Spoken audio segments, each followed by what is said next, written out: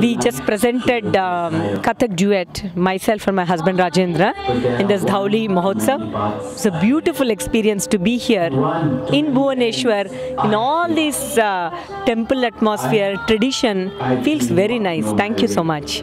This Dhauli Mahotsav is conducted very well by uh, the Academy, Orissa Dance Academy, with Aruna Mohantyji's um, able leadership and the tourism department. And uh, Aruna ji has contacted us to do the duet presentation. We are very happy to be here in this Dhauli Mahotsav, in this ambience. It feels very good to be here.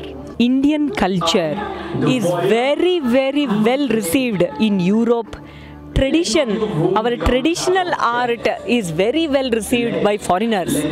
And so to belong to this Punya Bhumi Bharata feels very nice because world over people love our Indian music, Indian dance.